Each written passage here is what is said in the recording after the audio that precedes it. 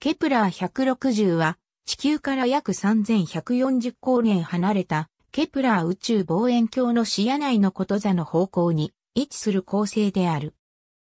質量と半径は太陽に非常に似ている。三つの太陽系外惑星と一つの惑星候補が周りを公転していることが知られている。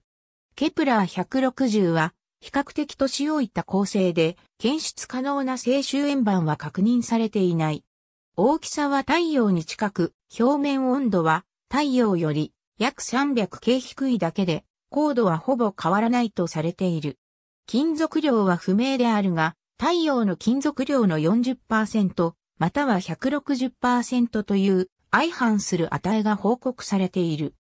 2010年、ケプラー宇宙望遠鏡によるトランジット法の観測で、ケプラー160を公転する2つの惑星候補が発見され、2011年初頭に発表、2014年に確認された。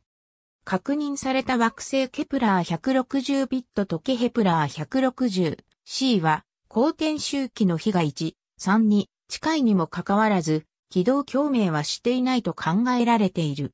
2020年、ケプラー 160C の公転周期に変動が見られることから、通過を起こさない別の惑星が存在することが示された。この惑星は、ケプラー 160D と命名され、2020年6月3日に arXivにて発見論文が公表された。ケプラー 160D は地球の1倍から100倍の質量を持つとみられる。これと同時に、ケプラー160のハビタブルゾーン内を公転する地球型惑星が存在する可能性が新たに示された。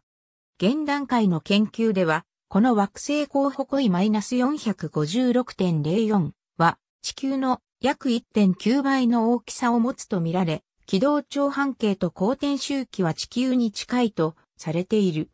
この惑星は地球が太陽から受ける光の約93%をケプラー160から受けているとされる。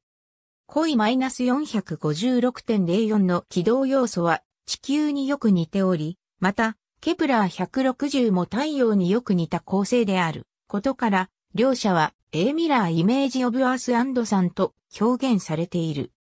ありがとうございます。